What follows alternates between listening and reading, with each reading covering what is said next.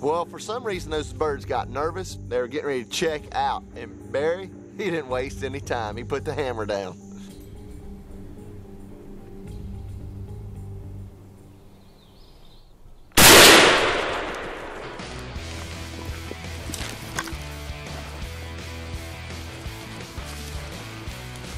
Good job.